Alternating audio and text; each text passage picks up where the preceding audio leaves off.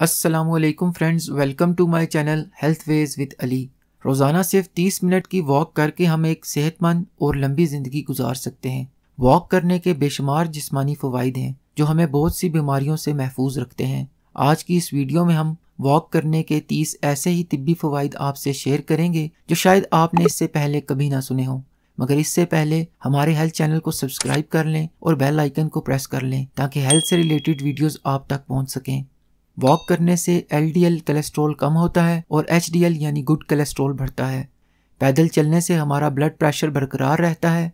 रोज़ाना 30 मिनट तक पैदल चलने से हमारे दिल मज़बूत होता है और हार्ट अटैक का खतरा 20 फ़ीसद तक कम हो जाता है। पैदल चलने से ब्लड शुगर लेवल बेहतर होता है और वॉक शुगर के मरीज़ के लिए बहुत मुफीद है।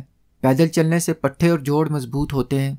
रोज़ाना एक किलोमीटर पैदल चलने से जोड़ों में दर्द की शिद्दत कम होती है और ये अर्थराइटिस के मरीज़ के लिए बहुत मुफीद है। वॉक करने से हमारा इम्यून सिस्टम मज़बूत होता है, यानी हमारी कुत मदाफत बढ़ती है। रोज़ाना पैदल चलने से डिप्रेशन के मर्ज में कमी आती है। पैदल चलने से हमारा मूड बेहतर होता है और इससे स्ट्रेस और एंजाइटी भी कम होती है। पैदल चलने से दिमाग में खून का भाव बढ़ता है, जिससे दिमाग को ताकत मिलती है और दिमागी सलाहियतें और यादाश्त बेहतर होती है। पैदल चलने से जिसम में खून की गर्दश बढ़ती है, जिससे हमारे बाल, जल्द और नाखून खूबसूरत होते हैं। पैदल चलने से निज़ाम इनहज़ाम बेहतर होता है। खुराक सही से हजम होती है। सीने में जलन और पेट में गैस भी नहीं होती। पैदल चलने से हमारा मेटाबॉलिज्म रेट बढ़ता है और हमें कब्ज़ भी नहीं होती। पैदल चलने से मिनरल्स और वाइटामिन जिसम में सही से जज्ब होते हैं।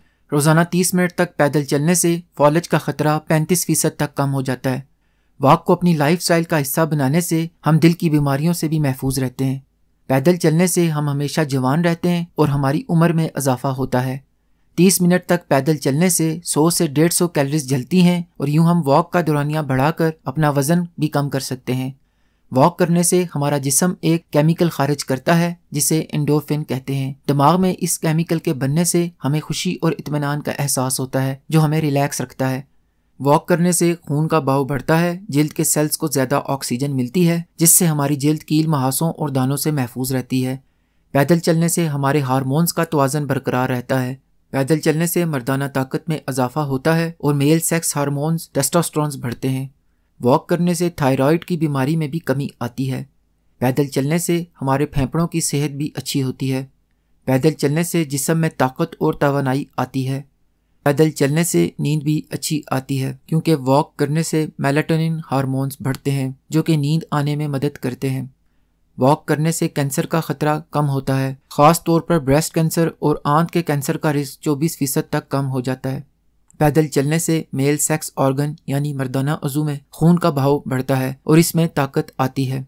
ऐसे अफराद जो फ़ूड क्रेविंग्स की वजह से परेशान हों, इन्हें वॉक लाजमी करनी चाहिए, क्योंकि स्टडीज़ से पता चलता है कि वॉक करने से इनकी फ़ूड क्रेविंग्स में भी कमी आती है। उम्मीद करता हूँ फ्रेंड्स, आज की वीडियो आपको पसंद आई होगी। काइंडली इसे लाइक और शेयर करें, ताकि ज़्यादा से ज़्यादा लोग इससे फ़ायदा उठा सकें। शुक्रिया।